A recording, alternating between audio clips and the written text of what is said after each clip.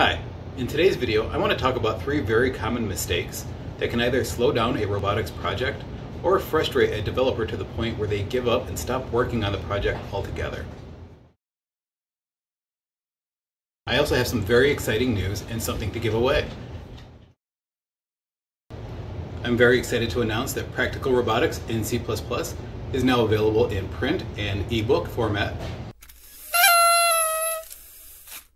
You can find that on Amazon's website, Barnes & Noble's website here in the United States, as well as the publisher's website that I'll link to in the description. If I'm not able to link to something in your country, just go to the Amazon site that you usually use and enter Practical Robotics by Lloyd Brombach. We're currently running as the number one new release in Kindle format, so you'll certainly find it if you search for it. My goal for the readers is for them to come away with all the foundational knowledge they need in electronics, hardware, robot operating system, and robot control strategy and theory that they're able to build a complete autonomous robot.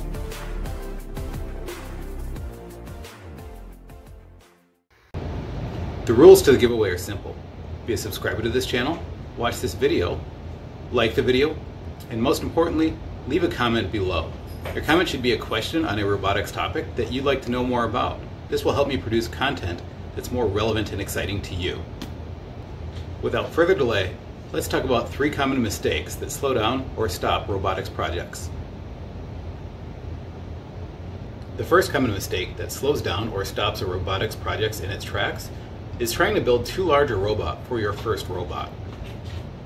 Believe me, I understand that large robots are a ton of fun, super impressive to show off, and just super awesome in general. I get it. I really do.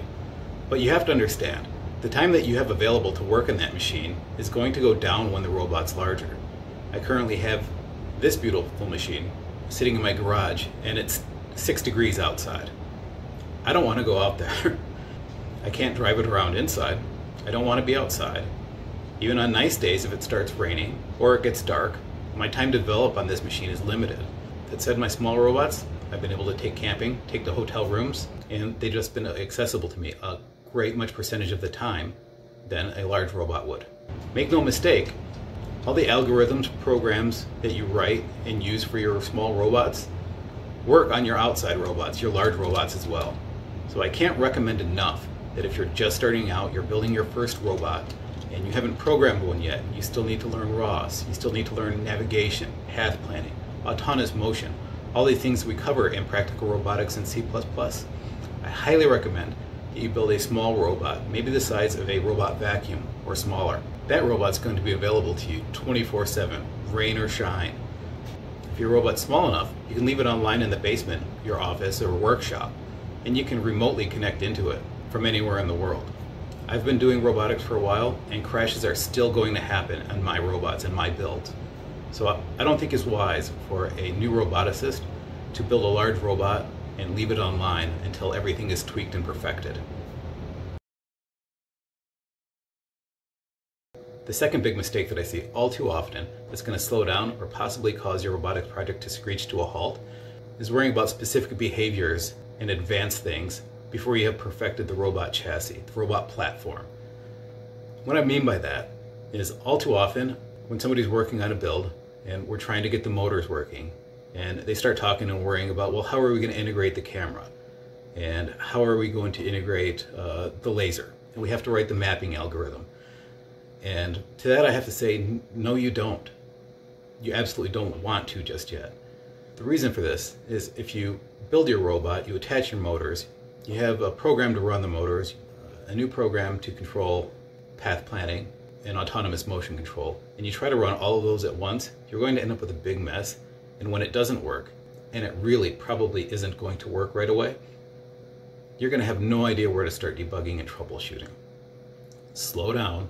The first thing you need is two to four or six wheels, whatever your robot's going to be. You need wheels, motors that are repeatedly and reliably controllable. And once you have these that are controllable by software, meaning that you can manually enter that it should be traveling at one meter per second, half a meter per second, and it's going to follow those commands and turn at the pace you ask it to turn. Until you have that, you really don't have any business working on these more advanced things, these autonomous behaviors. But once you have that, you now have the key to the universe.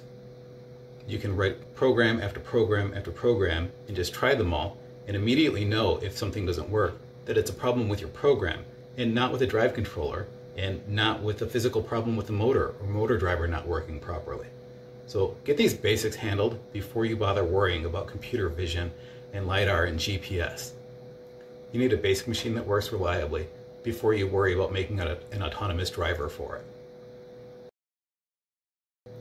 The third mistake that's going to slow down or stop your robotics projects in its tracks is trying to do too many things in one program. In the software world, we call this lack of encapsulation. What I very often see in new roboticists, and I've been guilty myself in the past, is trying to do too many things in one program.